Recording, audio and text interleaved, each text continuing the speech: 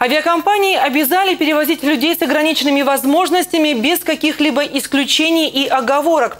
Наконец-то, после почти четырехлетней борьбы за право инвалидов свободно летать куда угодно, такие поправки внесены в Воздушный кодекс, пишет сегодня российская газета.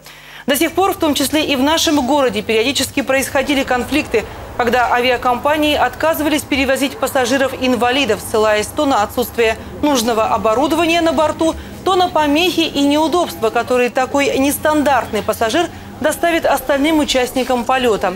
Теперь в законе прописано требование, чтобы в каждом аэропорту были отработаны регламенты по встрече проводам пассажиров с инвалидностью от места высадки из транспортного средства до посадки, а также в аэропорту прибытия на всех этапах.